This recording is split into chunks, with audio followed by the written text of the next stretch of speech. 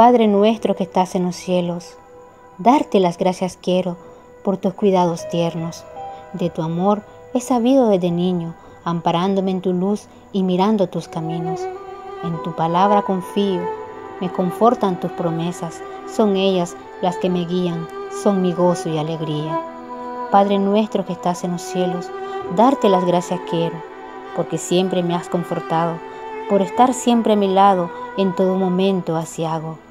Padre nuestro que estás en los cielos, darte las gracias quiero, y cuando vengas en tu gloria, y al final de toda mi jornada, Señor, llévame contigo hasta tu celeste morada.